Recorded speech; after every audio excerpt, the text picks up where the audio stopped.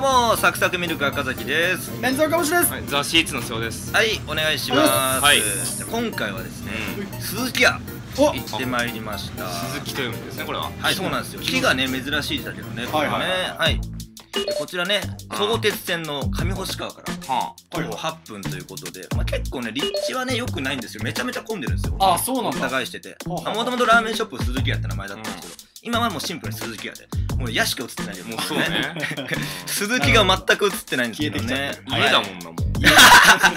だいぶ右に寄ってるけどねこれね。あの専門のね駐車場も書かれてるんですけどあの。これ木がね、はい。あの変換出なかったのかななんかね。あ喜ぶの字で。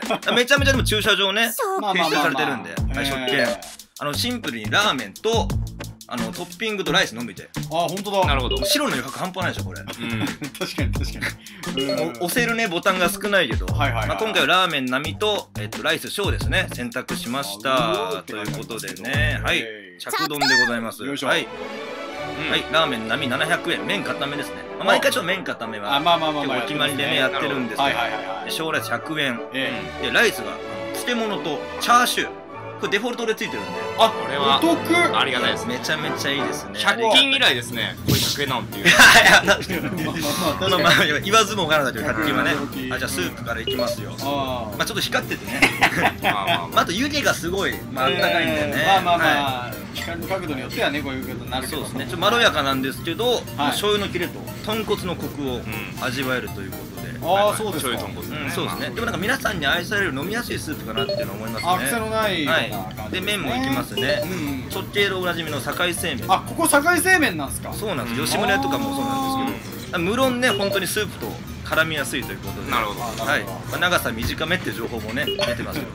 チャーシューがね、まあ、小ぶりなんですけども、はい。非常にジューシーで、はい。はい、美味しいチャーシューです。あ、もう大きさではなく、やっぱ味で。味味ですね。なるはいほどね。あでこちらですねはい。うん IEK48 家系48っていうねあサイトのあー1位を取ってる、あるんですね、そんな48が。あ横浜でのあの家系好きたちがあ投票したサイトであ。1位を EAK。家系 EAK、EAK だね。そうですねでニンニクをちょっと今回ねななこれね、ななんですかこれプリン入れようとしてませんか、これ。この。いやいやいやたまたまそう映ってるけどさ ちょっともう光の加減でさ、ぼやけちゃってで。あのあのお客さんに前に見てる人にねはい。あの直で混ぜないで直で食べてくださいって言われたんで。え？今回ニンニクと麺を直でいかせていただいてああ、それはいいね。どうだったんですか、それは。最高でしたね。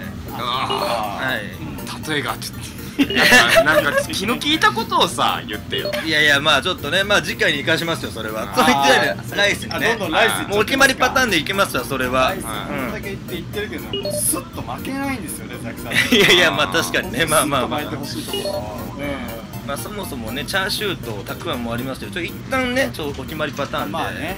あとね、この画角ちょっと本当何ですかこれ。いやちょっと待ってえさっきから何なんマジでちょっと本当にさあ、これもまあね。なんでこの動画中にも何回も怒られてんじゃんちょっと いい加減にしてくれマジで怒るつもりはないんですけど。そうなんですよ。えまあでもたくあんとねチャーシューいきますわ ー、言ってますね。無論美味しいですよこれたくはあん乗ってるのなかなかないからね。いや美味しいですねうん俺見たことはないんですけど、はい食い方はうつ丼と一緒ですね。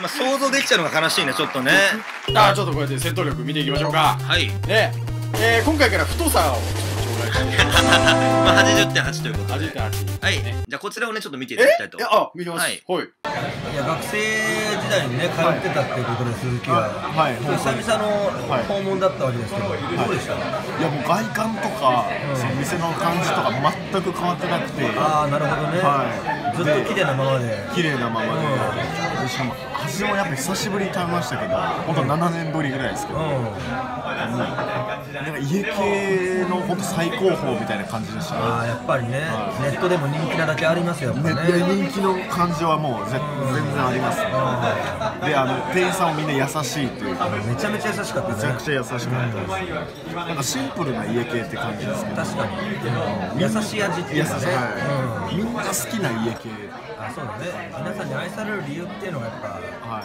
ね。やっぱ他のお店とかでも家系僕好きで食べてますけど、でももう頭一つ抜けてるなって感じはやっぱあります。なるほど。はい。ありがとうございます。あいこちらこそ誰ですか？ま あというわけでね。マジ誰、あのー関口宏さんですよ。いやあの白髪の感じだけでしょ。うん佐野史郎も昔やってましたよああと星野千一ね。いいわ。はいうわ。白飯大会。あの後輩の元ブランドのルイ君と一緒にあの地元なんでね彼が。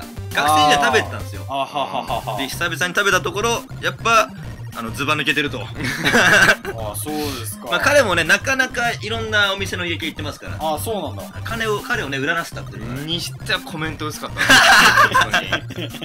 いらん。もしかしたらまた出てくるかもしれないんで。